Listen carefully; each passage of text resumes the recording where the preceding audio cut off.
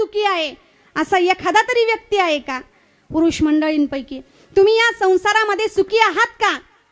सुखी आहात? नाही. महिला मंडळींपैकी. तुम्ही या संसारामध्ये सुखी आहात का? सुखी आहात? बोलत चला. नाही. म्हणजे चला मी या ठिकाणी असं गृहीत धरते कीर्तनाला आलेल्या श्रोतेजनांपैकी या ठिकाणी या संसारामध्ये कोणीही सुखी नाही. मग उद्यापासून आपण संसार करायचा नाही चालेल का? चालेल? नाही चालणार महाराज नाही चालणार. म्हणून मा- आमच्या साधू महात्म्यांनी संसार तुम्ही दुःख बांधवडी आहे दुःख आहे म्हणून सोडून द्या. प्रपंच करू नका असं आमच्या संत महात्म्यांनी म्हटलं. नाही तुम्ही प्रपंच करा संसार करा पण कसा करा? प्रपंच करा नीटका नसू द्या फाटका पण लागू द्या झटका परमार्थाचा. प्रपंच तुम्ही जरूर करा पण प्रपंच करत असताना त्या प्रपंचाला परमार्थाची जोड द्या. म्हणजे तो सुखमय झाल्याशिवाय राहणार नाही. विठाला विठाला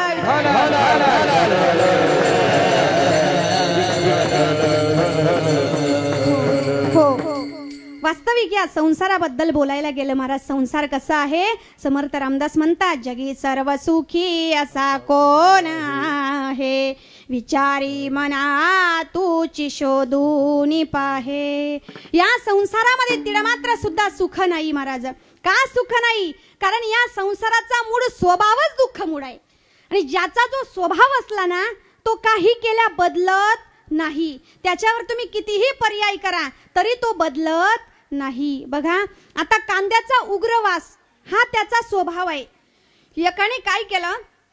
त्याचा उग्रवास जाण्याकरता त्याने काय पर्याय केला? बघा एका श्लोकामध्ये वर्णन आलेलं आहे. कर्पूर धुली रचितालवाला कस्तुरिका कुमकुम लिप्त देहा सुवर्ण कुंभे परिश्रिच्यम गात्रा निज गुण मुंचाती किम पंडालू. कांद्याचा उग्रवास जाण्याकरता काय केलं? कापराचे आळे केले. कापराचे. कस्तुरीचे खत घातले. सुवर्ण कुंभाच्या झारीतून त्या कांद्याला पाणी टाकलं. तरी त्या कांद्याने आपला गुण स्वभाव टाकला नाही. कारण त्याचा जो स्वभाव आहे तो काही केल्या बदलणार नाही. एवढंच नाही महाराज. कारल्याची भाजी कितीही सुगरणबाई असली तरी तिला कारल्याची भाजी गोड करता येणार नाही. करता येईल का? इथं आहे का कुणी एवढं एक्सपर्ट कारल्याची भाजी गोड करू शकतात का? तूपणा हा त्या कारल्याचा स्वभाव आहे. आणि काही केला तो बदलणार नाही. एवढंच नाही. कुत्र्याची शेपटी वाकडी ती वाकडी. तुम्ही कितीही सरळ करायचा प्रयत्न करा. एकाने काय केलं? तिला सरळ करण्यासाठी नडीत घालून ठेवली महिनाभर. एका महिन्यानंतर काढली. तरी ती वाकडी ती वाकडी. कारण वाकडेपणा हा तिचा स्वभाव आहे. आणि तो काही केल्या बदलणार नाही. म्हणून स्वभावाला या ठिकाणी पर्याय नाही. विठाला विठाला विठाला भाव आहे तो बदलत नाही. एवढंच नाही. स्वाती नक्षत्राचं पाणी समुद्रातील शिंपल्यामध्ये पडलं तर त्याच्यापासून काय तयार होतं? मोती तयार होतात. आणि तेच पाणी जर सापाच्या तोंडामध्ये गेलं तर त्या पाण्याचं काय तयार होतं? विष तयार होतं. म्हणजे पाणी एकच आहे पण परिणाम वेगवेगळे आहेत महाराज. त्याच प्रकारे तेच पाणी या ठिकाणी कारल्याला सोडलं आपण. तर कारलं कडू होतं. तेच पाणी मिरचीला सोडलं तर मिरची तिखट होते. विठाला विठाला विठाला विठाला विठाला विठाला आणि तेच पाणी जर उसाला सोडलं तर ऊस गोड होतो. पाणी एकच आहे पण परिणाम वेगवेगळे आहेत महाराज. पाणी एकच आहे पण त्याच पाण्यामध्ये जरी चहा पावडर दूध आणि साखर टाकलं तर काय तयार होते? चहा तयार होते. त्याच पाण्यामध्ये जरी तेल मीठ मसाला टाकला तर काय तयार होते? भाजी तयार होते. आणि त्याच पाण्यामध्ये जर सडेल गुळ टाकला तर? काय तयार होतं? असं. पाणी एकच आहे पण परिणाम वेगवेगळे आहेत तसा संसार एकच आहे महाराज पण तुम्हा आपल्याला दुःखरूप आणि साधू मातम्यांना सुखरूप भासतो विठाला विठाला विठाला. हो, हो. कशा प्रकारे बघा? माऊली ज्ञानोबाराई वर्णन करतात. अगाने ना आणि चतुरा पुढा निळ्याचा दुसरा नेना सर्पत्व झाला येरा सुखा लागी ज्याप्रमाणे दोन मित्र रस्त्याने चालले. चालता चालता चालता रस्त्यावर अंधार आहे. आणि रस्त्यावर काहीतरी पडलेला आहे. एका मित्राने बघितलं अरे रस्त्यावर काहीतरी पडलेलं आहे. जे पडलेलं आहे तो सोन्याचा हार आहे. त्याला आनंद झाला. मी घेण्याकरता धावला. पण दुसरा मित्र म्हणतो अरे नाही नाही नाही नाही तो साप आहे. तो लगेच मागे पळला. वस्तू एकच आहे पण एकाला भासली सुखरूप आणि दुसऱ्याला भासली दुःखरूप. तसा संसार एकच आहे पण तुम्हा आपल्याला भासतो दुःखरूप आणि साधू महात्म्यांना भासतो सुखरूप. विठाला विठाला विठाल वास्तविक हा संसार मिथ्या आहे खोटा आहे. तो नसताना फक्त भासतो त्याची फक्त प्रचिती येते. बघा वास्तविक हा संसार नाहीच. तुम्हाला एक असं अशक्य असंभवनीय वर्णन सांगून दाखवते. ते वर्णन ज्याप्रमाणे अशक्य आहे असंभवनीय आहे त्या प्रकारे हा संसार आहे महाराज. बघा भीष्माचार्यांची मुलगी आणि मारुती रायांचा मुलगा यांचा विवाह. शक्य आहे का? यांच्या लग्नामध्ये जो मंडप होता ना मंडपाला जे खांब होते ना ते सशाच्या शिंगाचे खांब. आणि आकाशाचा केला मंडप. मंडपाला डेकोरेशन करण्यासाठी जे फुलं बांधली होती ना ती शुद्ध आकाशाची. लग्नामध्ये जेवण काय होतं? खडी साखरेची उसड दोन दिवसापूर्वी भिजत घातली. कासवीच्या तुपामध्ये जिलेबी तळली. जेवायला कोण होतं? बिना शिराचे माणसं. आणि वाढायला कोण होता? वांजेचा मुलगा. सांगा हे लग्न होईल का? होईल? नाही. ज्याप्रमाणे हे वर्णन अशक्य आहे असंभवनीय आहे त्या प्रकारे महाराज सांगतात हा संसार या ठिकाणी नसताना तो फक्त भासतो. न झाला प्रपंच आहे परब्रह्म. अहम सोहम ब्रह्मा. आकळले विठाला विठाला विठाला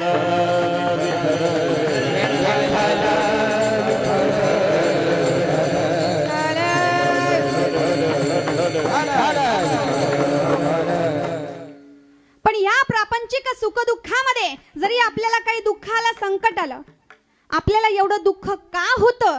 कारण आपण हा संसार खरा समजतो.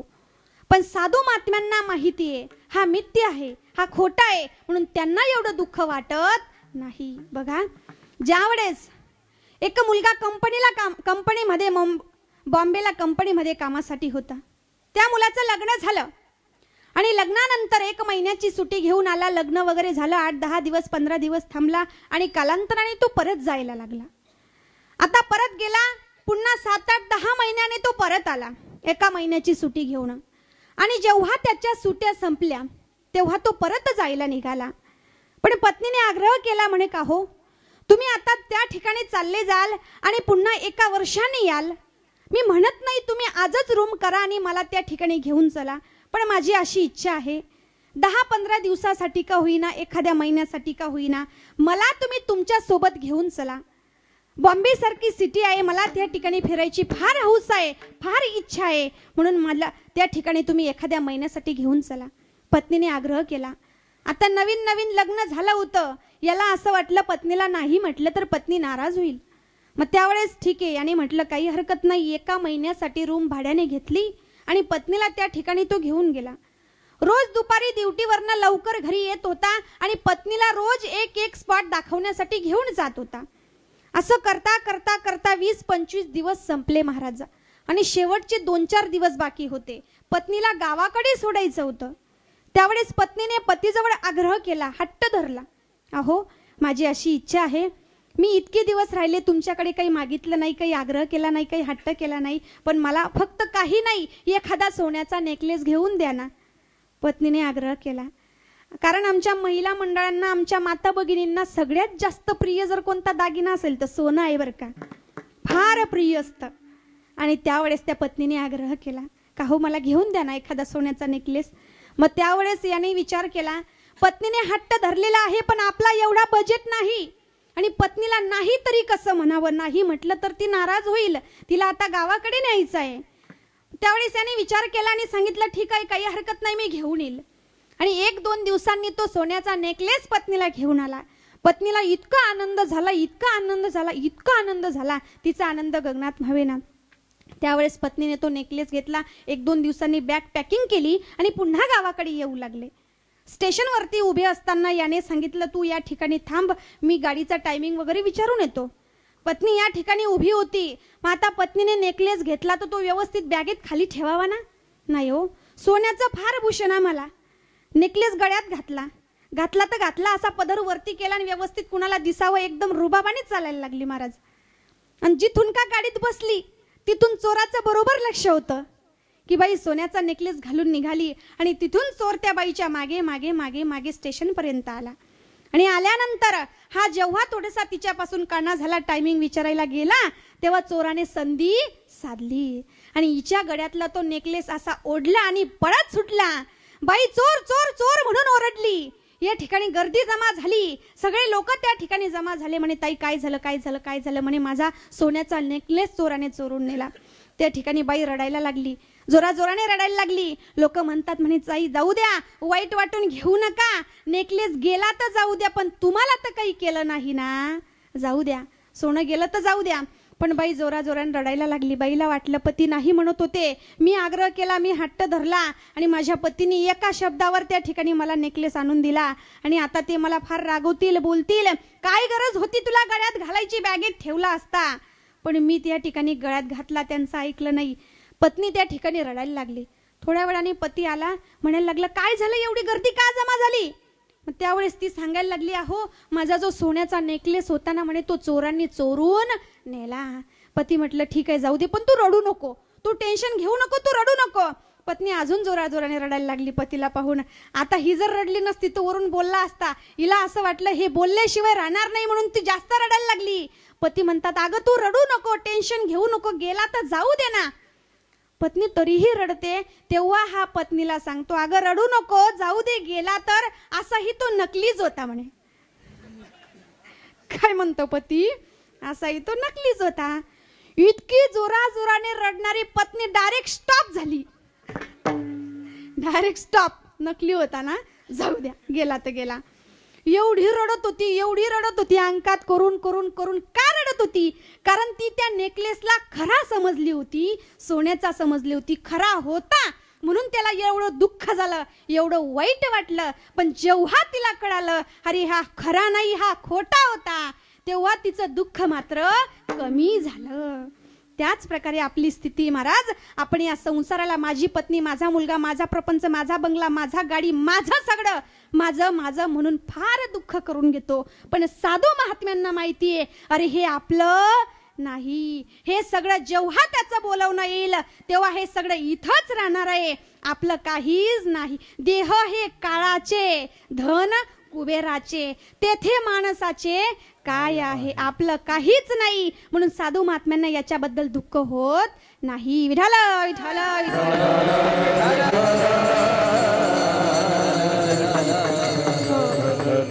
म्हणून असाच एक संसारामध्ये त्रस्त झालेला ग्रहस्थ माऊली ज्ञानोबरायांकडे गेला. माऊली ज्ञानोबराय मला या संसार दुःखातून सोडवा.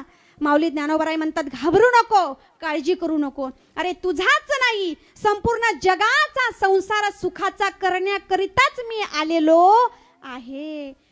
तो ग्रस्त विचार करायला लागला माऊली ज्ञानोबाराय म्हणतात मी सर्व जगाचा संसार सुखाचा करेल. वास्तविक माऊली ज्ञानोबारायांना राहायला घर नाही खायला अन्न नाही गावातली लोक त्यांना बरं म्हणत नाही. आणि असं असताना माऊली ज्ञानोबाराय कोणाच्या आधारावर म्हणतात कोणाच्या जीवावर म्हणतात की मी संपूर्ण जगाचा संसार सुखाचा करेल? कोणाचा आधार आहे? ज्याप्रमाणे बघा उदाहरण कळण्यासाठी व्यवहारिक जीवनातलं उदाहरण सांगते. एका श्रीमंत बापाची पोरगी गरीबाच्या घरी दिली. श्रीमंत बापाची एकुलती एक पोरगी. मुलीसाठी वर शोधत असताना विचार केला आता गव्हर्नमेंट जॉबचा मुलगा भेटणं अशक्य आहे. कारण या ठिकाणी सगळे रूल्स बदलले. त्याच्यामुळे गव्हर्नमेंट जॉब आता मिळू शकत नाही. म्हणून बापाने ही माघार घेतली आणि विचार केला एका ग्रहस्थाला चार मुले चौथ्या नंबरचा मुलगा होता फार हुशार होता. आणि इतका हुशार होता बापाने विचार केला मुलगा हुशार आहे. आणि वर्ष दोन वर्षांनी चांगल्यातली चांगली परीक्षा मुलगा पास होऊन चांगल्या पदावर गेल्याशिवाय राहणार नाही या विश्वासाने बापाने आपली एकुलती एक मुलगी त्या मुलाला दिली. पण जेव्हा ती मुलगी लग्न करून सासरी आली ना तिच्या जावा तिला म्हणायला लागल्या बाई अगं तू पैशावाल्या बापाची एकुलती एक मुलगी. पण आपली परिस्थिती फार नाजूक आहे ग. फार गरिबाची आहे. आणि एवढ्या नाजूक परिस्थितीमध्ये तू स्वतःला कसं ऍडजस्ट करून घेशील? मग त्यावेळेस ती पैशावाल्या बापाची मुलगी तिच्या जावांना म्हणते अगं तुम्हाला काळजी करायची गरज आहे पण मला काळजी करायची गरज नाही का? कारण मी माझा संसार सुखाचा करण्यासाठी माझ्या बापाकडे जाईल माझ्या माहेरून आणेल आणि मग मी माझा संसार सुखाचा करेल तसं माऊली ज्ञानोबरायांना जेव्हा साधकाने प्रश्न केला माऊली ज्ञानोबराय तुम्ही म्हणतात मी संपूर्ण जगाचा संसार सुखाचा करेल कोणाच्या आधारावर कोणाच्या विश्वासावर बोलता तेव्हा माऊली ज्ञानोबराय सांगतात मी संपूर्ण जगाचा संसार सुखाचा करण्यासाठी काय करेल हे माऊली ज्ञानोबराय अभंगाच्या दुसऱ्या चरणात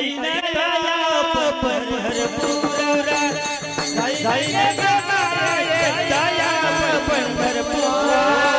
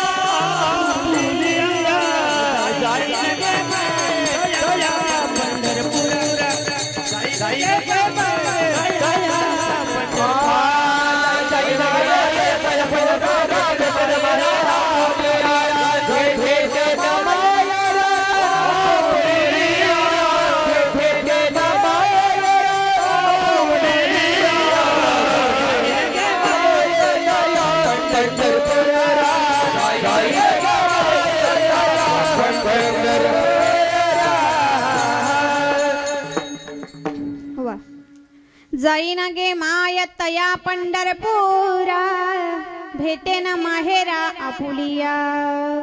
ज्यावेळेस साधक म्हणतो ना महाराज मौली ज्ञानोबराई कोणाच्या जीवावर कोणाच्या आधारावर तुम्ही म्हणता? तेव्हा मौली ज्ञानोबराई म्हणतात मी जगाचा संसार सुखाचा होण्यासाठी काय करेल? माझ्या माहेराला जाईल. जाईन गे माय तया पंढरपुरा पंढरपुराला जाईल. का? कारण पंढरपूर माझं माहेर आहे. माझे माहेरा पंढरी माझे माहेरा पंढरी.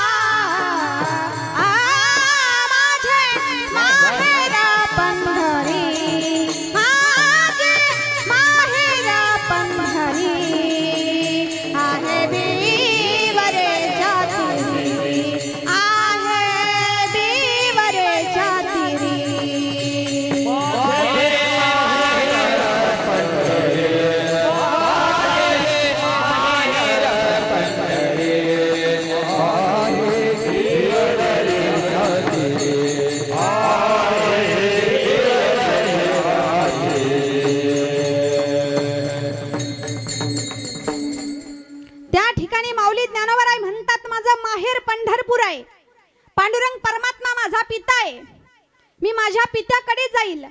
आणि मग माझ्या पित्याकडून आणेल. मग सर्व जगाचा संसार मी सुखाचा करेल. मग त्यावेळेस साधक म्हणतो माऊली ज्ञानोबराई ठीक आहे. तुम्ही म्हणतात माझा माहेर पंढरपूर आहे. पांडुरंग परमात्मा माझा पिता आहे.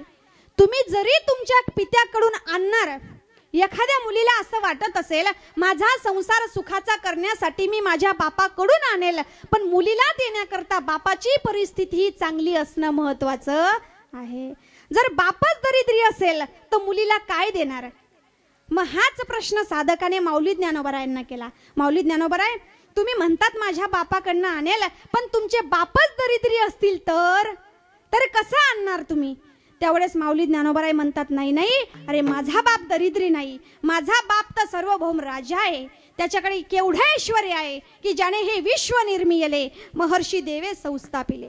एकवीस स्वर्गात ते धरिले सत्ता मात्रे आपुलिया ज्याच्याकडे कुठल्याच गोष्टीची कमी नाही. मग त्यावेळेस साधक म्हणतो माऊली ज्ञानोबराय ठीक आहे.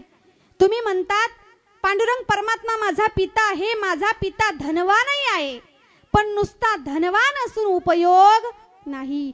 संपत्ती असून उपयोग नाही. संपत्ती सोबत उदारता हवी. जरी धनवान असेल पण कंजूस असतील तर तर कस काय आणाल?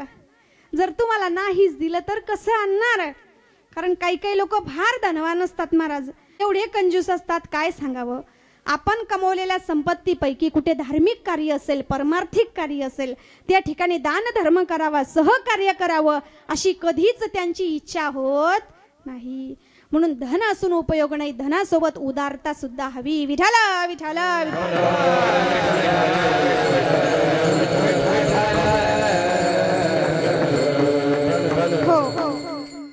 कारण आपण जेव्हा या ठिकाणी इहलोकीची यात्रा संपवतो ना तेव्हा आपल्यासोबत दुसरं काहीच येत नाही.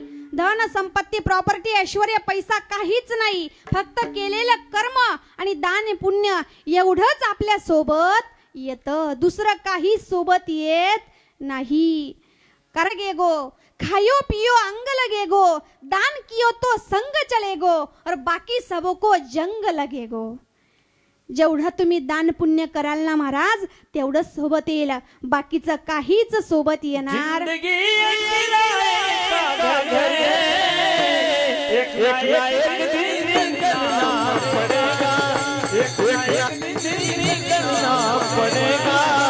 एक ना एक दिन निकलना पड़ेगा।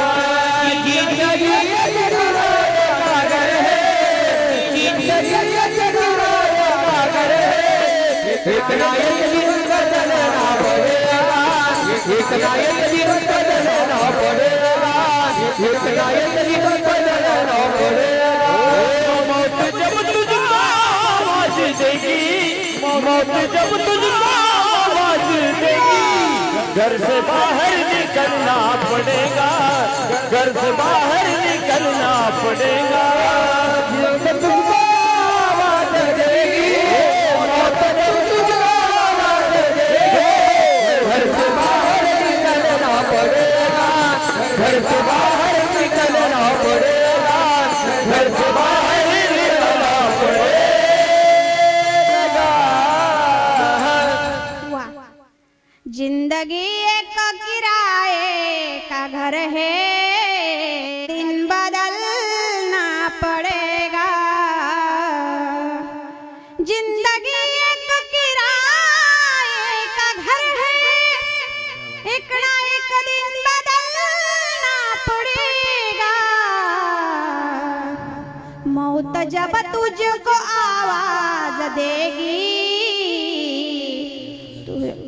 बाहर निकलना पड़ेगा। ऐसी हो जाएगी तेरी हालत। काम आएगी ताकत। छोड़कर अपनी ऊँची हवेली, तुझको बाहर निकलना कितीही मोठा बंगला असू द्या कितीही गा मोठी गाडी असू द्या कितीही ऐश्वर्य असू द्या पण एक दिवस त्याला हे सगळं सोडून जावं. रे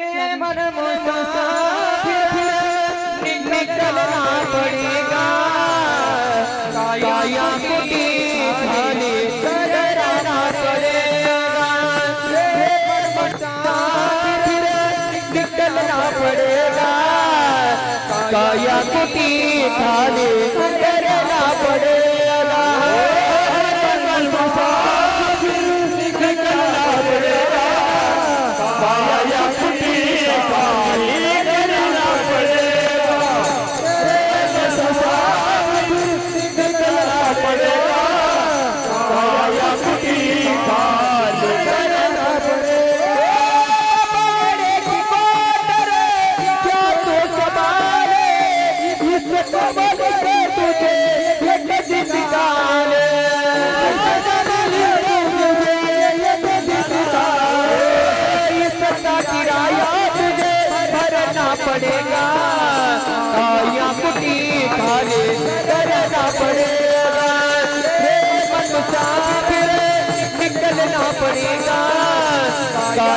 काया झाली तर ना पडे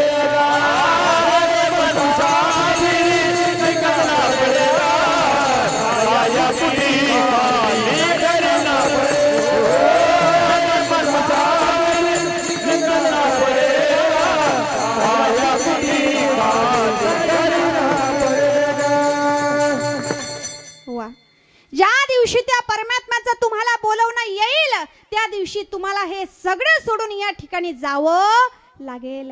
कितीही ऐश्वर असू द्या सोबत काहीच येणार नाही. तेव्हा लोक असं म्हणत नाही आबासाहेबांचा सत्तर लाखाचा बंगला होता. जाता जाता आबासाहेबांची शेवटची आंघोळ तरी शावर खाली होऊ द्या. म्हणतात का? नाही. शेवटची आंघोळ कुठे होते?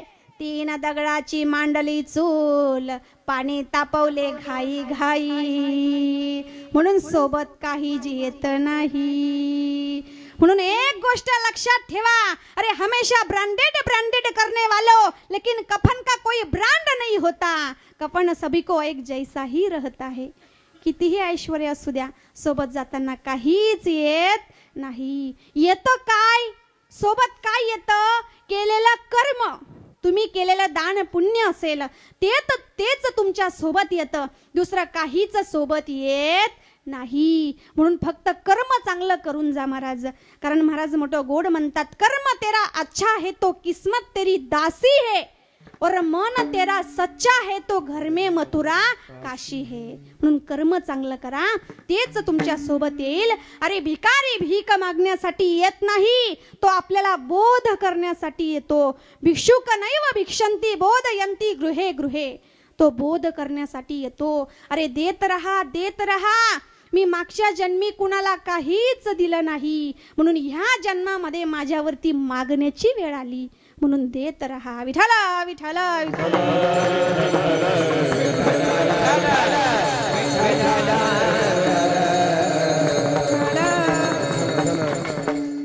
म्हणून या ठिकाणी आपल्यासोबत जे येणार आहे ते कमवून जा महाराज. हे बाकीचं नश्वर आहे. हे सोबत काहीच येणार नाही. पण काही काही लोक फार कंजूस इतके कंजूस असतात. काय सांगावं? एक ग्रहस्थ इतका कंजूस होता.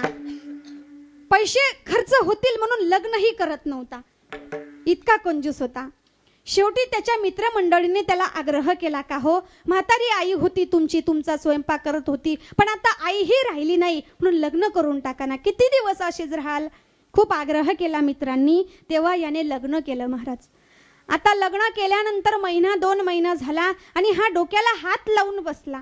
आणि बसल्यानंतर विचार करतो की आता ही बया बारीक निरीक व्यवस्थित करणारी असेल तर ठीक आहे. ही जर उधड मानकी करणारी असेल तर म्हणे दिवाळेच निघायचं काम आहे. डोक्याला हात लावून बसला विचार करतो. आणि त्यावेळेस मात्र त्यांच्या शेजारच्या गावामध्ये हरिकीर्तन सप्ताह चालू होता. त्याचे मित्रमंडळी त्याला बोलवायला आले. म्हणे का हो चला ना कीर्तन आहे. मग त्यावेळेस तो त्यांच्यासोबत कीर्तनाला तर गेला. चालता चालता चालता अर्ध्या रस्त्यात गेला. आणि अर्धा रस्त्यात गेल्यानंतर याला आठवण आली. आणि हा त्या मित्रमंडळींना बोलतो की हे बघा तुम्ही व्हा पुढे. मी लगेच जाऊन आलो. मला थोडंसं अर्जंट काम आठवलं. मी असा गेलो ना असा आलो. तुम्ही व्हा. मग त्यावेळेस त्याची मित्रमंडळी पुढे गेले. हा घरी आला आणि घराचा दरवाजा वाजवला. दरवाजा वाजवला पत्नीने दरवाजा उघडला. म्हणे का हो? तुम्ही कीर्तनाला गेले होते ना? परत का आले? तेव्हा हा त्याच्या पत्नीला सांगायला लागला अगं मी कीर्तनाला गेलो होतो पण मी अर्ध्या रस्त्यात गेलो आणि तिथं मला आठवलं म्हटले तू संध्याकाळी देवांना जो गावरानी तुपाचा दिवा लावला होता तो लगेच विजवला होता की नाही? हे सांगण्याकरिता मी परत आलो ग. त्यावेळेस पत्नी सांगायला लागली अहो काय तुम्ही? मी काही एवढी वेडी आहे का? मी एका हाताने दिवा लावला आणि दुसऱ्या हाताने लगेच विजवला म्हणे तो. त्यावेळेस याला कुठेतरी समाधान वाटलं. अरे वा वा. आपल्यासारखी बारीक निरीक करणारी पत्नी मिळाली बरं का? याला कुठेतरी मनासारखं झालं आणि त्यावेळेस पण त्याच्या पत्नीने याला प्रश्न विचारला का हो? मग तुम्ही एवढं सांगण्याकरता एवढ्या लांबून आले? मला एवढं सांगण्याकरता. मग जिथून परत आले तुमचे बुटं किती घासले गेले असतील? तेव्हा हा त्याच्या पत्नीला सांगतो अगं मी काय तुला एवढा वेडा वाटलो का? अगं जिथून परत आलोय तिथून बुटं हातात धरून आणले म्हणे मी. ठला विठाला विठाला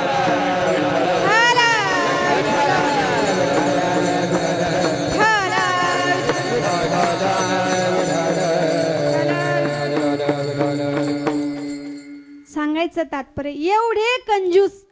अरे जे पायातले बुट घासले जातील म्हणून पायात घालत नाही. हे लोक काय धार्मिक कार्याला दान धर्म करतील काय सहकार्य करतील महाराज?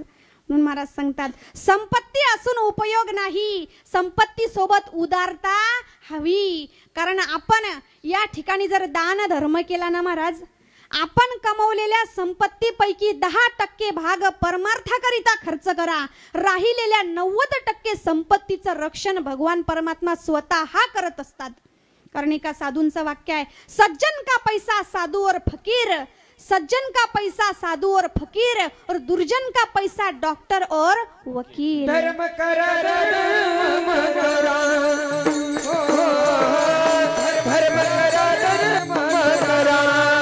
धर्म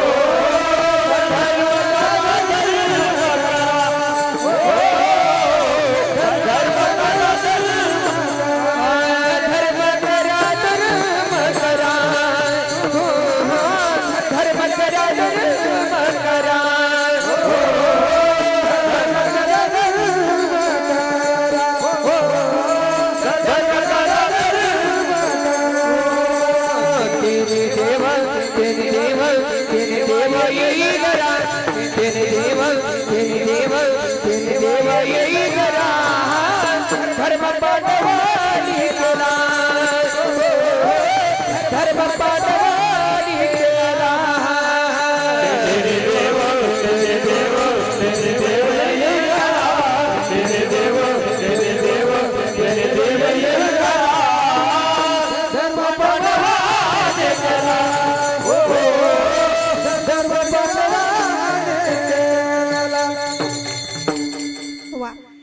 करा धर्म करा म्हणून दान धर्म करत राहा. जे तुम्ही दान धर्म कराल तेच तुमच्यासोबत येईल अन्यथा दुसरं काही सोबत येणार नाही. म्हणून या ठिकाणी धनाची शोभा दानाने आहे. आणि धनसंपत्ती सोबत उदारता हवी. म्हणून त्यावेळेस साधकाने जेव्हा माऊली ज्ञानोबरायांना प्रश्न केला माऊली ज्ञानोबराय तुम्ही म्हणतात माझं माहेर पंढरपूर आहे पांडुरंग परमात्मा माझा पिता आहे माझा पिता धनवानही आहे. पण कंजूस असले तर माऊली ज्ञानोबराय म्हणतात नाही नाही माझा पिता इतका उदार आहे की त्याच्यासारखा उदार जगात दुसरा कोणीही नाही. माझा पिता इतका उदार आहे की उदार तू हरी उदार तू हरी. ऐसे कीर्ती चारा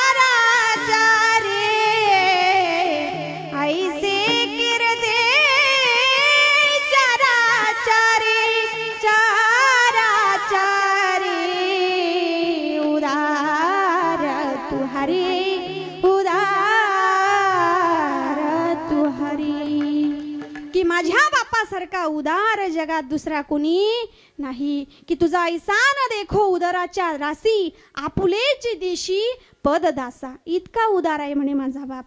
एवढंच नाही त्याने आपल्या भक्ताने जे मागितलं ते दिलं. जी पुतना स्तनामध्ये विष भरून देवाला मारण्याकरिता आली त्या पुतनेचा माझ्या परमात्म्याने उद्धार केला. माऊली ज्ञानोबराय वर्णन करतात तू आसन का देकाचे नेमाने सायोज्जू सौरोसु केला पुतने जे विषयाचे निस्तनपाने मारू आली. त्या पुतनेचा देवाने उद्धार करावा. एवढंच नाही. राजा उत्तानपाद याच्या दोन पत्न्या सुरीची आणि सुनीती. सुनीतीचा पुत्र ध्रुव आणि या ध्रुवाला आपल्या पित्याच्या मांडीवरती बसला. आणि त्याच्या सावत्र आईने सुरुचीने त्याला बापाच्या मांडीवरून खाली ओढला. बाळ ध्रुव रडायला लागला. रडत रडत रडत आपल्या आईकडे गेला. आईला सांगितलं आई अगं आई मला त्या आईने वडिलांच्या मांडीवरून खाली उतरवलं. आणि आईने सांगितलं जर का तुला पित्याच्या मांडीवरती बसायचं असेल तर तुला माझ्या पोटी जन्म घ्यावा लागेल.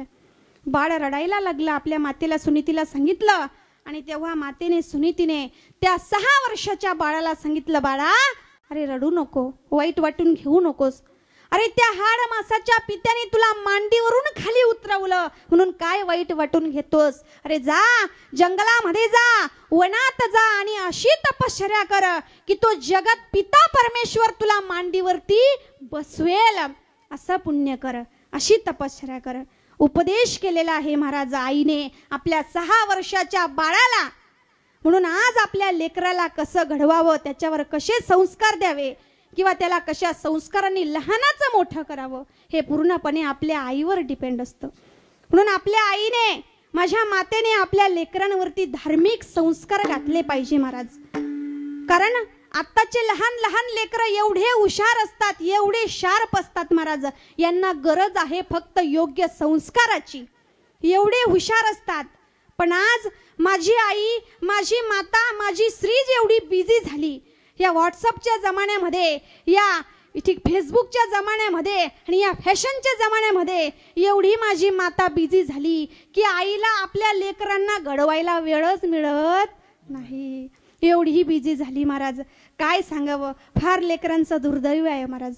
अहो पूर्वी बाळ आई जेव्हा मुलाला दूध प्राशन करवत होती ना तेव्हा आई आपल्या लेकराला पदराखाली घेत होती. आणि त्या लेकराला पदराखाली आईच्या पदराखाली इतकी शांततेने सुखाची झोप लागत होती महाराज. स्वर्गात असल्याचा आनंद त्या लेकराला पदराखाली जाणवत होता. पण आज दुर्दैव आहे की त्या लेकरांच्या नशिबी तो पदर सुद्धा नाही का? आई जीन्स टॉप वापरायला लागली. तर लेकरांसाठी पदर कुठून आणणार? कुठून आणणार? लेकरांच्या नशिबात तो पदर सुद्धा राहिला नाही. म्हणून माझ्या मातांना माझ्या तरुण भगिनींना एकच विनंती आहे की व्यसन फॅशन आणि शासन याच्या नादी लागू नका. कारण फॅशनाच्या नादी लागून व्यसनाच्या नादी लागून माझा तरुण बांधव बरोबर झाला.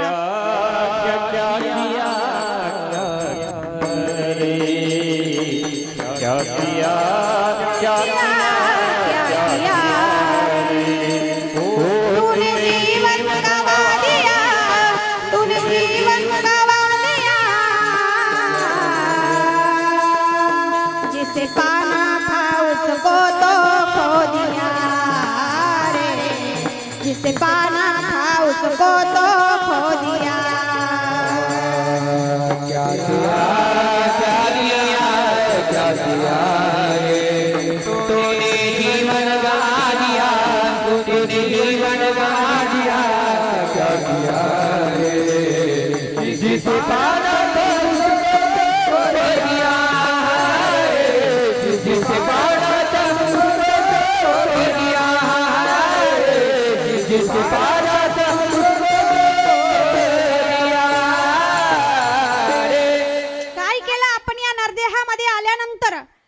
आपला नरदेह माझे तरुण बांधव फॅशनाच्या नादी लागून वाया घालवताय.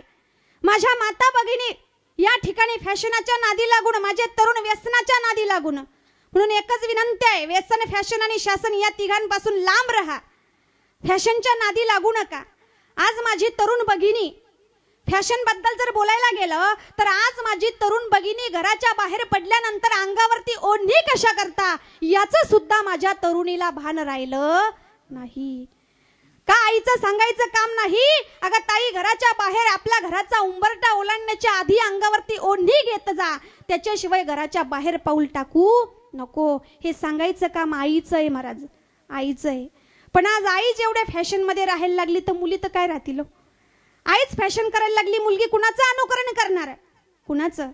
म्हणून आधी आपल्याला असं वाटतं ना छत्रपती शिवाजी महाराज जन्माला आला पाहिजे त्याच्याकरता माझी जिजाऊ जन्माला आली पाहिजे. आपले लेकरं घडावे जर असं वाटत असेल ना महाराज आपल्याला त्याच्याकरता तसे संस्कार आईने आपल्या लेकरांवरती घातले पाहिजे. विठाला विठाला मुस्लिम भगिनीकडे जरी आपण बघितलं महाराज तिचा पोशाख कसा असतो आणि आपला पोशाख कसा असतो? डोक्याच्या केसापासून तर पायाच्या नखापर्यंत पूर्ण अंग तिचं काड्या गुरख्याने झाकलेलं असतं महाराज. जर मुस्लिम भगिनी आपलं पायाचं नख सुद्धा परपुरुषाला दिसू देत नाही मग आपण आपण काय केलं? हां? आपल्याला काय या गोष्टीचं भान नाही? आपल्याला काय या गोष्टी कळत नाही की आपली लाज आपली आबरू आपणच सांभाळली पाहिजे? आपण काय या फॅशनाच्या नादी लागून या ठिकाणी आपली आबरू या ठिकाणी बाहेर काढायला निघालो? का? म्हणून एकच विनंती आहे माझ्या भगिनींना कुणाचा हेवा करू नका. मुलांचा हेवा करू नका. हम किसी से कम नाही. याच्यामध्ये आपण मुलांसारखं जीन्स टॉप वापरण्यात या ठिकाणी आपली फॅशन करू नका. अहो आपण त्यांचा हेवा करतो. मुलांनी कधी तुमचा हेवा केला का? एखाद्या मुलाने म्हटलं का की मुली आमच्यासारखं जीन्स टॉप वापरतात? मग एखाद्या मुलाने गाऊन घातला आणि गावभर फिरून आला. बघितलं? नाही. मग जर मुला आपला हेवा करत नाही मग आपण त्यांचा हेवा का करावा? कशासाठी? अरे आपण कमी आहेत का कुणापेक्षा? आपण कमी नाहीत. स्त्री शक्ती कमी नाही स्त्रिया सुद्धा फार पुढे गेल्या. स्त्रियांनी सुद्धा फार प्रगती केली. उंच पदापर्यंत स्त्रिया गेल्या. म्हणून आपल्याला कुणाचा हेवा करायची गरज नाही. म्हणून स्त्री ही स्वतःच्या अलंकारावरती स्वतःच्या भूषणावरती आणि या शृंगारावरती सुशोभित दिसते. म्हणून स्त्रियांना फॅशन करायची गरज नाही. करायचं ना तुम्हाला शृंगार करा. फॅशन करू नका. आणि हे संस्कार माझ्या तरुणींनी माझ्या माता भगिनींनी आपल्या तरुणींवरती घातले पाहिजेत. का? कारण छत्रपती शिवाजी राजांना घडवणारी कोण होती? जिजाऊ होती महाराज. साने गुरुजींना घडवणारी कोण होती? त्यांची आई होती. हनुमंतरायांना अंजनीच्या तपासाठी महारुद्र आले पोटी. छत्रपती शिवाजी महाराजांना जिजाऊंनी घडवलं महाराज. अरे सोळा वर्षाचा मुलगा राजा झाला. हिंदुस्तान पे राज्य किया क्योंकि उसका जिस्म पौलाद का था. हिंदुस्तान पे राज्य किया क्योंकि उसका जिस्म पौलाद का था. किसी के आगे सर नहीं झुकाया क्योंकि मराठा की औलाद था. हे संस्कार माझ्या शिखरी गिरिका परी लहरी भगवा ध्वजा. उगवणारा रे नीलहरा,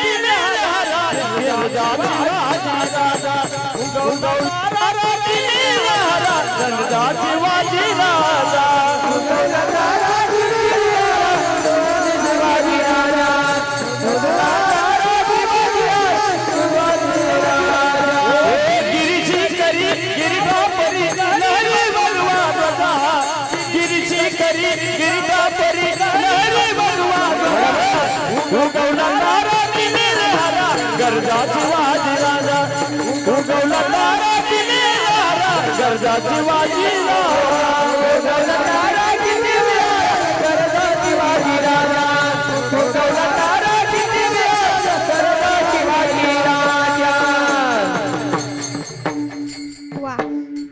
असे संस्कार माझ्या जिजाऊने छत्रपती शिवाजी राजांवरती घडवलं.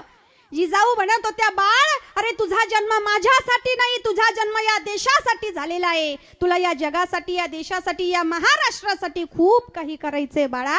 अरे तुला या सगळ्यांसाठी महाराष्ट्रासाठी झटायचंय लढायचंय. तुझा जन्म माझ्यासाठी नाही महाराष्ट्रासाठी झालेला आहे. असा असे संस्कार माझ्या जिजाऊने शिवबांना घडवलं महाराज. आपली आई आपली माता बाळाला सांगते बाळा घराच्या बाहेर निघू नको. कोणाच्या भानगडीत पडू नको. तिकडे कोणाचं काही होऊ दे पण तू कोणाच्या भानगडीत पडू नको. महाराज म्हणून माझ्या आईने माझ्या मातोश्रीने आपल्या लेकरांना संस्काराने घडवावं महाराज. कारण उपदेश केलेला आहे. सहा वर्षाच्या बाळाला माता सुनीतीने उपदेश केलेला आहे आणि ते सहा वर्षाचं बाळ महाराज त्याने भगवंताची प्राप्ती करून घेतली. आणि भगवान परमात्म्याने असा वर दिला. की जोपर्यंत चंद्र आणि सूर्य आहे तोपर्यंत तुझी कीर्ती अमर राहील असा वर भगवंतांनी त्या बाळाला दिला महाराज. विठाला विठाला विठाल माऊली ज्ञानोबराई वर्णन करतात की तो वनाला याची लागे की बैसावे पितयाच्या उत्संगे की तो चंद्र सूर्य अधिका परी जगी लागू केला. म्हणून असे संस्कार या लेकरांवरती दिले पाहिजे. कारण आत्ताचे लहान लेकरं फार शार्प असतात फार हुशार असतात. यांना फक्त गरज आहे योग्य मार्गदर्शन करण्याची योग्य दिशा देण्याची. इतके शार्प असतात महाराज लेकरं. बघा मी जेव्हा एका ठिकाणी कार्यक्रमाला गेली ना एक लहानसा पोरगा सात आठ वर्षाचा असेल माझ्याजवळ येऊन बसला. आणि त्या ठिकाणी बाळाला मी विचारलं बाळा अरे शाळेत जातोस का? कितवीला जातो? नाव काय? गाव काय? सगळं मी त्याला विचारायला लागली. मग जेव्हा माझं संपलं तेव्हा तो मुलगा म्हणतो ताई मी पण तुम्हाला एक प्रश्न विचारू का? म्हटलं विचार ना बाळा. मग त्यावेळेस त्या मुलाच्या शाळेत त्याच्या शिक्षकांनी सांगितलं होतं की उद्या शाळेमध्ये सांस्कृतिक कार्यक्रम आहेत येताना तुमच्या पालकांना घेऊन या. आता त्या मुलाच्या मनामध्ये सकाळपासून प्रश्न होता की वडिलांना पालक का म्हणतात? वडिलांना पप्पा म्हणतात डॅडी म्हणतात आबा म्हणतात नाना म्हणतात पण पालक का म्हणतात? हा प्रश्न त्या मुलाच्या मनामध्ये होता आणि त्या मुलाने तोच प्रश्न मला विचारला म्हणे ताई तुम्हाला एक प्रश्न विचारू का? म्हटलं विचार ना बाळा. म्हणे ताई मला एक सांगा वडिलांना पालक का म्हणतात? म्हणे. मग तेव्हा मी त्या बाळाला सांगितलं बाळा अरे ते आपल्याला लहानाचं मोठं करतात वाढवतात शिकवतात आपला सांभाळ करतात आपलं पालन पोषण करतात आपल्यासाठी सर्व काही तेच करतात म्हणून त्यांना पालक म्हणतात म्हटलं. मग त्यावेळेस तो मुलगा त्या ठिकाणी मला सांगायला लागला म्हणे ताई मग जर का वडिलांना पालक म्हणतात तर आईला शपू म्हटलेलं चालणार नाही का म्हणे त्यावेळेस मी त्या बाळाला सांगितलं बाळा अरे वडिलांचा पालक ठीक आहे पण ज्या दिवशी तू आईचा शपू केला त्या दिवशी तुझा कडूपत्ता झाल्याशिवाय राहणार नाही विठाला विठाला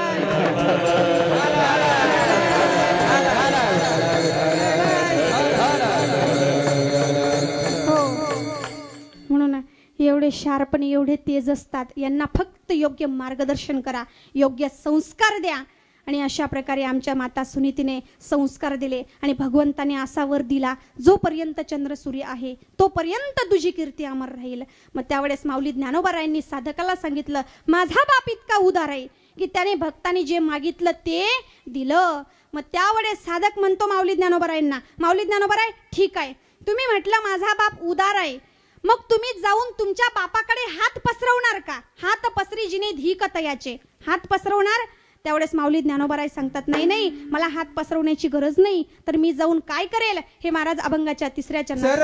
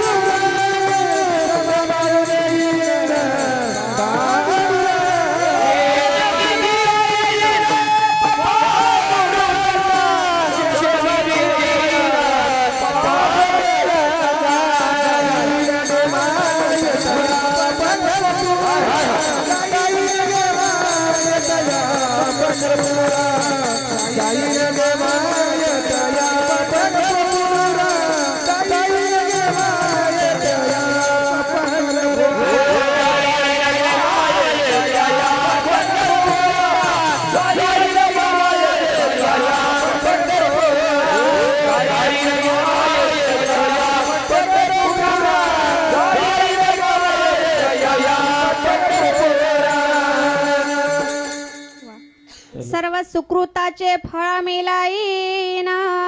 क्षेम मी देईना पांडुरंगा.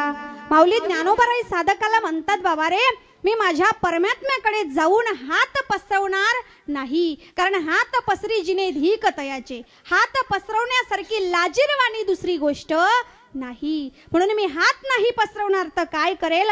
माझं पूर्वजन्मीचं सुकृत मागेल. पूर्वजन्मी थोर सुकृते केली. आणि ते माझं आजी फळासी आली. म्हणून माऊली ज्ञानोबराई साधकाला सांगतात बाबा रे मी माझा पूर्वजन्मीचं सुकृत त्या परमात्म्याकडे मागेल आणि मग सर्व जगाचा संसार सुखाचा करेल. हे माऊली ज्ञानोबराय. वास्तविक माऊली ज्ञानोबरायांना काही कर्तव्य नव्हतं पण आपल्याकरिता आपला संसार सुखाचा व्हावा याकरिता माऊली ज्ञानोबरायांनी प्रतिज्ञा केली होती. म्हणून माऊली ज्ञानोबाराय आपल्याकरिता पंढरपुराला जाईन म्हणतात. म्हणून आपण देखील आपला संसार सुखाचा व्हावा याकरिता पंढरपुराला जावं.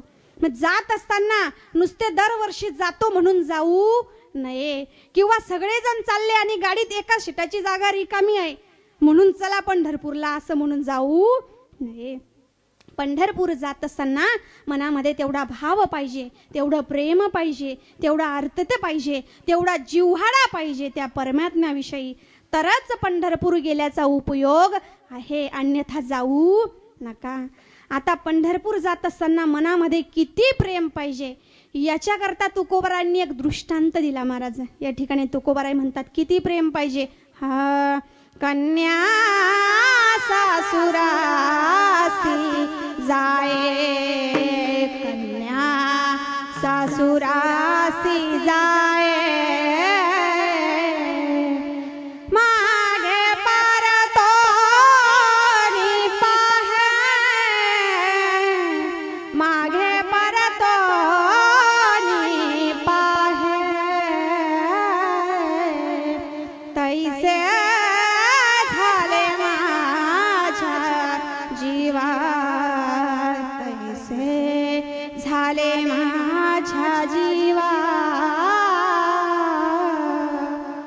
किती प्रेम पाहिजे? पंढरपूर जात असताना. विठाला विठाला विठाला मुलगी माहेर सोडून सासरी जाते. चार चार वेळेस मागे वडून पाहते. आईच्या गड्यात पडून रडते बापाच्या गड्यात भावाच्या गड्यात बहिणीच्या गलीतल्या सगळ्यांच्या त्या ठिकाणी गड्यात पडून रडते. चार चारदा मागे वडून पाहते.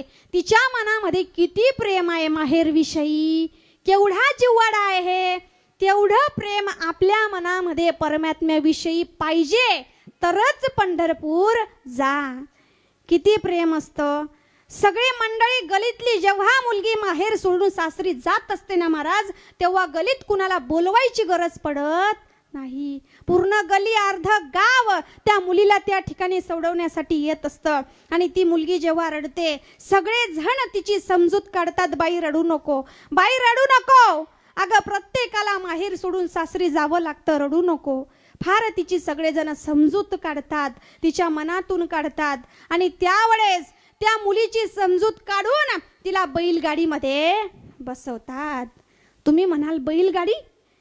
कारण तुकोबरायांनी हा जो दृष्टांत दिला हा आत्ताचा नाही हा पूर्वीचा आहे. पूर्वी जेव्हा मुलगी सासरून माहेरहून सासरी जात होती ना तेव्हा बैलगाडीमध्ये जात होती. आणि तो नवरदेव मुलगा बसला त्याचं तोंड त्याच्या गावाकडे असायचं. आणि हिचं तोंड हिच्या माहेरकडे असायचं. आणि ती बैलगाडी चालता चालता चालता चालता बऱ्याच लांब चालली जायची महाराज.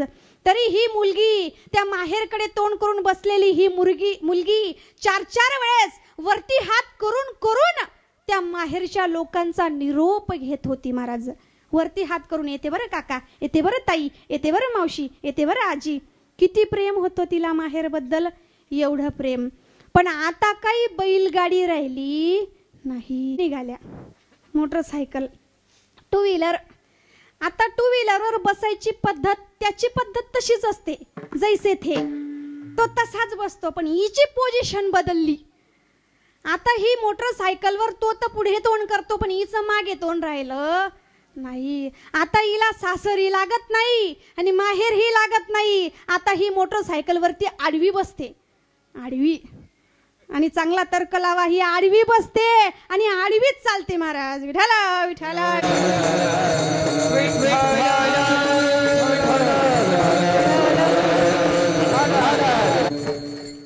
सांगायचं तात्पर्य जेवढं प्रेम त्या मुलीला माहेरविषयी आहे तेवढं प्रेम आपल्या मनामध्ये परमात्म्याविषयी असलं पाहिजे. काही काही लोकांना जर सांगितलं का हो काका तुम्ही पंढरपूरला नाही का गेले? काही लोक सहज उत्तर देऊन टाकतात नाही ना ताई आम्हाला कुठे देव बोलवतो? आम्हाला देव बोलवत नाही. का बरं तू त्याचा व्यायी आहे का? का तू त्याचा सगळा आहे सोयर आहे? तुला फोन करेल बाबा ये ना मला भेटायला. सहज सांगून टाका तो आम्हाला देव बोलवेल ना तेव्हा आम्ही जाऊ. अरे देवाचं बोलवणं यायची वाट बघू नको. देव तुला बोलवणार नाही. काही काही लोक अजिबात जसे जन्माला आले तसे संपले पण तरी त्यांना पंढरपूर माहीत माहीत नाही. म्हणून लोक पंढरपूर जायला तयार नाही का हो? कारण लोक या परमात्म्याविषयी निष्ठूर झाले निष्ठूर. ज्याप्रमाणे बघा ही मुलगी सुरुवातीला माहेर सोडून जेव्हा सासरी जाते चार चार वेळेस मागे वडून पाहते रडते. पण हीच मुलगी पहिल्या मुळाला गेली. मग गेल्यानंतर दोन चार आठ दहा दिवस राहते परत येते. दुसऱ्या मुळाला गेली दोन चार सहा महिने राहते परत येते. दोन चार पाच वर्षांनी ही मुलगी तिच्या संसारामध्ये इतकी रमते की तिला माहेरची आठवण सुद्धा येत नाही. आणि मग काही वर्षानंतर मग त्यावेळेस इकडे माहेरी वडिलांची तब्येत बिघडली. वडील आजारी पडले. डॉक्टरांनी सांगितलं हे बघा तुम्ही आता फार जास्त दिवस जगणार नाही. तुमचे फार कमी दिवस शिल्लक आहेत. म्हणून तुम्हाला काही इच्छा असेल कुणाला भेटायचं असेल भेटून घ्या. त्यावेळेस बापाने मुलीला पत्र लिहिलं महाराज. बाप मुलीला पत्र लिहितो अगं ताई माझी तब्येत बरोबर नाही. डॉक्टरांनी सांगितलं मी फार जास्त दिवस जगणार नाही. म्हणून मी तुला लगेच पत्र लिहिलं हे पत्र न समजता तार समजणे. व पत्र पाहताच मला भेटायला निघून येणे. अन्यथा तुझी आणि माझी भेट होणार नाही. पूर्वी एका गावाहून दुसऱ्या गावाला जर काही निरोप कळवायचा असेल तर पत्र व्यवहाराने कळवत होते बरं का. आता पत्रही राहिले नाहीत. आता मोबाईल निघाला. मोबाईल घंटो की बात मिनटो मे. आता पत्रही राहिले नाहीत महाराज. पण बापाने पत्र लिहिलं मुलीला. मुलीने बापाचं पत्र वाचलं महाराज. मुलीला वाईट वाटलं दुःख झालं रडायला आलं.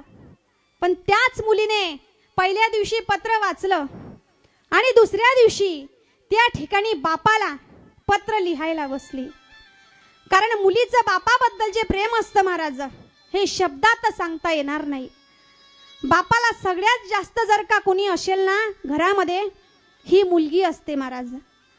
कारण मुलगी जेव्हा सासरी जाण्यासाठी निघते ना तेव्हा मुलगी आईच्या गळ्यात पडून रडते पण आईला सांगते आई मी सासरी चालली का आई. पण एक लक्षात ठेव माझ्या बाबांकडे लक्ष दे.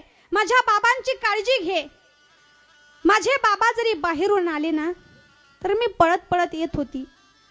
आणि माझ्या बाबांना विचारत होती बाबा तुम्हाला पाणी आणू का?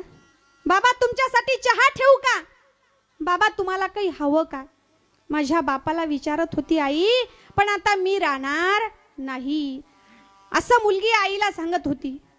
एवढं बापाचं आणि मुलीचं जिव्हाड्याचं जवळचं नातं असतं महाराज. पण त्यावेळेस एवढा प्रेम बापाचा मुलीबद्दल असताना सुद्धा तीच मुलगी जर सासरी गेली ना महाराज तर सासरी गेल्यानंतर ठला विठाला विठाला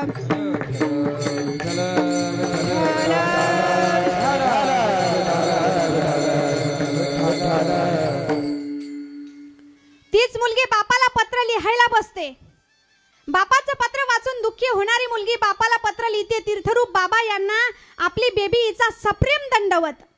विनंती विशेष पत्र लिहिण्यास कारण की तुमचं पत्र आलं वाचून मजकूर कळाला दुःख वाटलं वाईट वाटलं बाबा पण काय करावं?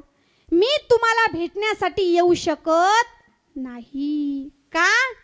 कारण तुमचे जावई सकाळी सहा वाजताच ऑफिसला जातात. सकाळी पाच वाजता उठून त्यांचा डबा तयार करून द्यावा लागतो. मोठा बाळू आठ वाजता त्याची शाळा असते. सकाळी सहाला उठून त्याचा डबा करायचा त्याची संपूर्ण तयारी करायची त्याला शाळेत सोडायला जायचं घ्यायला यायचं. लहान पिंटी ती अंगणवाडीला जाते. तिची ही सगळी तयारी करून तिचं ही सगळं सोडायला जायचं घ्यायला यायचं या प्रकारे. म्हणून मला फार वाईट वाटलं फार दुःख झालं बाबा. पण मी तुम्हाला भेटायला येऊ शकत नाही. आणि शेवटचं वाक्य काय लिहिते मुलगी बापाला? म्हणे बाबा जाऊ द्या ना. शेवटी आताही यायचंच आहे. आणि शेवटी पण यायचंच आहे. बघा तीच मुलगी जी मुलगी माहेर सोडताना इतकी रडते इतकी रडते इतकी रडते पण तीच मुलगी एक दिवस आपल्या बापाविषयी निष्ठूर होते महाराज निष्ठूर होते. तसे आपण आपला परमपिता परमात्मा परमेश्वर आपल्या भक्ताच्या भेटीची वाट पाहतो महाराज. वाट पाहतो माझे भक्त येतील माझे लेकर येतील. मला भेटायला कमरेवर हात ठेवून वाट पाहतो. पण त्या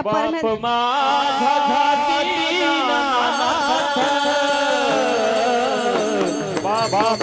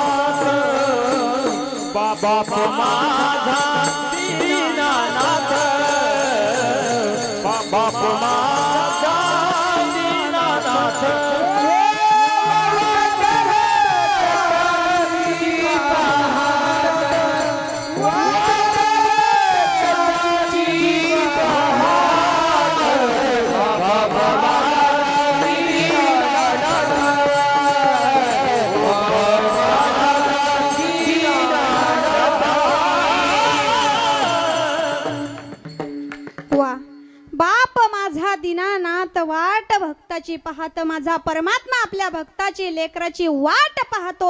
माझा भक्त माझा लेकरू मला भेटायला येईल. भेटी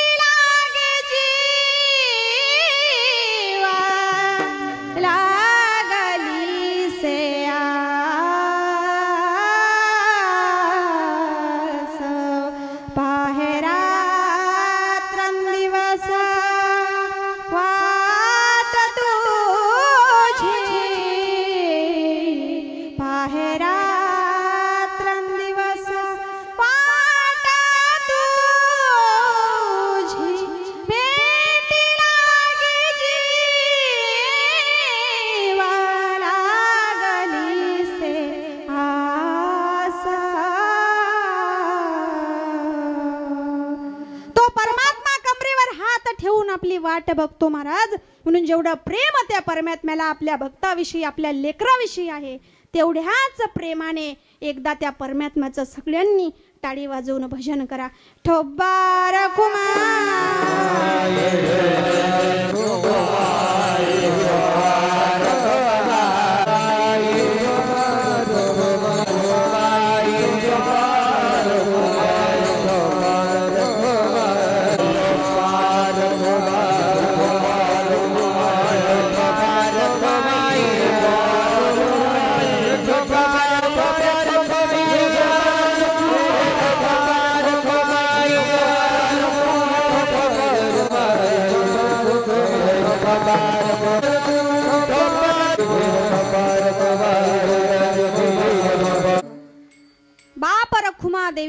विठ्ठलाची भेटी आपुल्या सवेसाठी करूनी ठेला. म्हणून त्या भगवान परमात्म्यावरती जरी निस्वार्थ प्रेम असेल भाव असेल श्रद्धा असेल तर भगवान परमात्मा आपल्या भक्ताला आपल्या सारखं करून ठेवतो. अविनाश करी आपुलिया ऐसे मना लावी पिसे गोविंदाचे. गोविंदाचे म्हणून या ठिकाणी अवघाची संसार सुखाचा करीन आनंदे भरीन तिन्ही लोकी. जाईना गे माया तया पंढरपुरा. भेटेन माहेरा आपुलिया. सर्व सुकृताचे फळ मी लाईन क्षेम मी देईन पांडुरंगा. जाईन गे माया तया पंढरपुरा. भेटे ना माहेरा आपुलिया. बाप रखुमा देवी वरू विठ्ठलाची भेटी. आपुल्या सवेसाठी करून ठेला. जाईन गे माया तया पंढरपुरा. भेटे ना माहेरा आपुलिया. तर अशा प्रकारे या ठिकाणी माऊली ज्ञानोबा यांचा अभंग या ठिकाणी माझ्या अल्पबुद्धीप्रमाणे चिंतन मांडण्याचा प्रयत्न केला. माझ्याकडनं काही चुकून बोललं गेलं असेल क्षमा करा बरोबर जवळ बोललं गेलं असेल माझ्या भगवान परमात्म्यांची माझ्या गुरुवर्यांची कृपा समजा. या ठिकाणी कार्यक्रमाला उपस्थित असणारी गुरुजन मंडळी असतील माझ्या महिला वर्ग मातृवर्ग पितृवर्ग असो. या ठिकाणी आपल्या गावच्या सुकन्या कीर्तनकार ताई कोमलताई महाराज. खरंच आपलं गाव फार भाग्यवान आहे. आपण म्हणतो ना परमार्थ हा तरुणांनी परमार्थ हा फक्त वयस्करच लोकांनी करावा का? नाही. परमार्थ हा तरुणांचा आहे. आणि माझे हे बाल गोपाल या ठिकाणी भजनी मंडळ पाहून खरंच फार आनंद वाटला. त्यांची ही साथ आणि इतके उत्कृष्ट गुणीजन इतकी सुंदर साथ मला लाभली. नाहीतर काही काही ठिकाणी अशी साथ असते महाराज. असं वाटतं की त्याच्यापेक्षा चिकन गुन्ह्याची साथ चांगली. अशी साथ असते. पण या ठिकाणी खरंच सुंदर असं आमचं पखवाज वादक दादा आहे आमचे काका आहेत. माझा बंधू उत्कृष्ट या ठिकाणी साथ आहे. श्रोते वर्ग आहेत. कारण या ठिकाणी अभंगावर माझ्या अल्पबुद्धीप्रमाणे चिंतन मांडण्याचा प्रयत्न केला. पण काही ठिकाणी महिला कीर्तनकार जरी असली महिला कीर्तनकाराला या ठिकाणी विनोदाची मर्यादा असते. मी जास्त विनोद करू शकत नाही. कारण ज्याप्रमाणे हिंदू धर्म संस्कृतीचा रिवाज आहे की डोक्यावर पदर सासू सासऱ्यांची कदर पतीचा आदर आणि तीच खरी इंडियन मदर म्हणून महिला कीर्तनकाराला विनोदाची मर्यादा असते. ती जास्त नाही बोलू शकत जास्त विनोद नाही करू शकत. म्हणून माझ्या परीने या ठिकाणी तुम्ही सर्वांनी कार्यक्रमाला उपस्थित राहायला साथ दिली. कारण वक्त्यापेक्षा श्रोतासुद्धा तितकाच महत्त्वाचा असतो. वक्ता कितीही तज्ज्ञ असू द्या आणि श्रोत्यांचा या ठिकाणी एक्सप्रेशन जरी वेगळेच असले त्यांना जरी कळत नसलं तर वक्त्याला काय बोलावं त्याला काही कळत नाही. एके ठिकाणी मी कीर्तनाला गेली ते लोकांना अध्यात्म सांगायची तरी समजायचं नाही. करुण प्रसंग सांगायची तरी रडायचे नाही आणि विनोद सांगितला तरी हसायचे नाही. त्यांच्या पुढे काय बोलावं हेच मला कळत नव्हतं. काय बोलावं यांना काय सांगावं? मग त्यावेळेस माझे काका काकांना विचारलं म्हटलं का हो काका यांना तर काही समजत नाही. तेव्हा काका सांगायला लागले म्हणे ताई तुम्ही त्यांच्याकडे लक्ष देऊ नका. तुम्ही फक्त तुमचं तुमचं सुरू ठेवा म्हणे. तू म्हटलं का असं? म्हणे तुम्ही अजिबात लक्ष देऊ नका. तुम्ही फक्त चालू ठेवा. म्हटलं पण असं का? तेव्हा ते काका सांगायला लागले म्हणे ताई ते बसलेले नाहीत म्हणे. म्हटलं मग? म्हणे त्यांना घडून बसवलंय म्हणे. घडून बसवलं कळतं ना? असे काही ठिकाणी श्रोते असतात महाराज. पण या ठिकाणी श्रोते फार तज्ज्ञ होते जाणकार होते. खरंच आनंद वाटला. सुंदर अशी या ठिकाणी मला साथ लाभली. माझ्याकडनं बोलण्याच्या ओघात काही या ठिकाणी चु चुकीचं बोललं गेलं असेल. नातरी बालका बोबडा बोली का वाकुडा विचुका पाऊली ते चोज करुणे माऊली रिजे जेवी किंवा साळुंके मंजुळ्या बोलत असे वाणी शिकविता धनी. वेगळाची. या ठिकाणी माझ्या परमात्म्याने जशी बुद्धी दिली तसं मी अभंगावर चिंतन मांडण्याचा प्रयत्न केला. आता सगळ्यांनी या ठिकाणी मोठ्या प्रेमाने माऊलींचं पूजन करा. ज्ञानेश्वर ज्ञानेश्वर माऊली.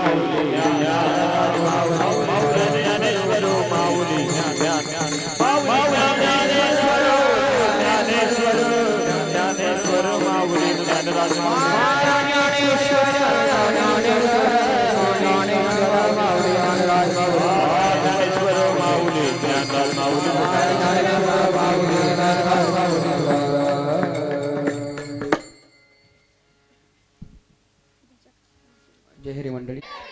वा हा सगळे नवीन नवीन चेहरे दिसत आहेत. वा वा तृतीय दिवस. तोही अगदी आनंदाने पार पडलेला आहे. मी तुम्हाला जसं रात्री सांगितलंच वयाच्या सहाव्या वर्षापासून ज्या ताई कीर्तन करत आहेत त्या आज आपल्यासमोर उभे आहेतच. अख्खा महाराष्ट्र ज्यांनी गाजून सोडला कमी वयामध्ये वयाच्या सहाव्या वर्षापासून.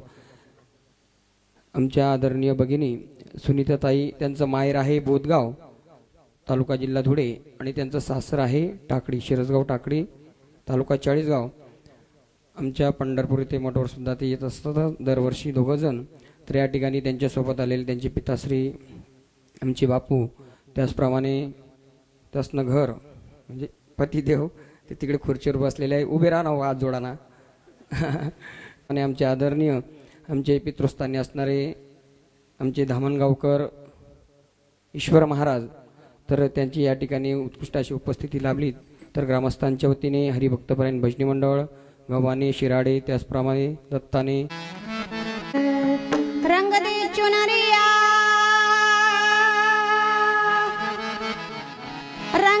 चुनरिया.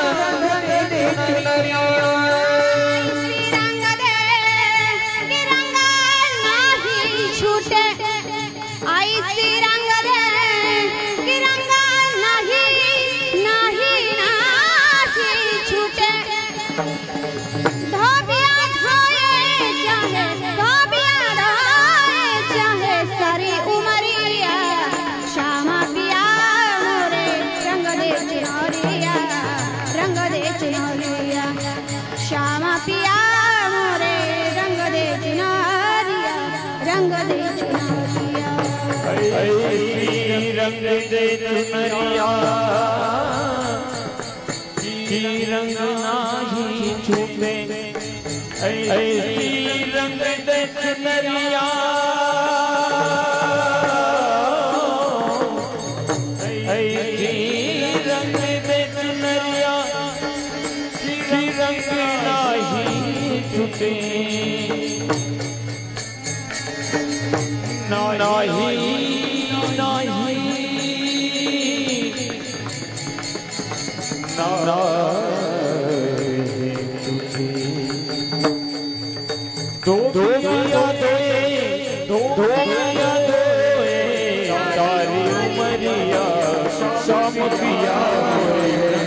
Shanti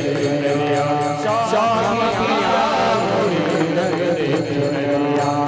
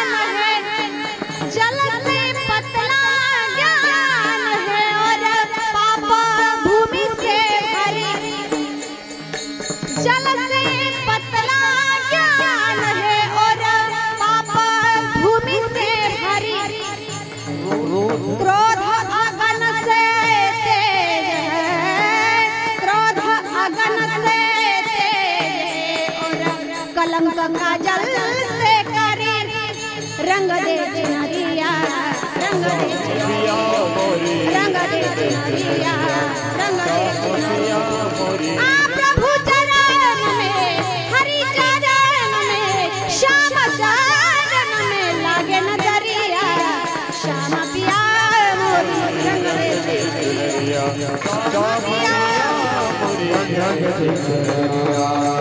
मेरा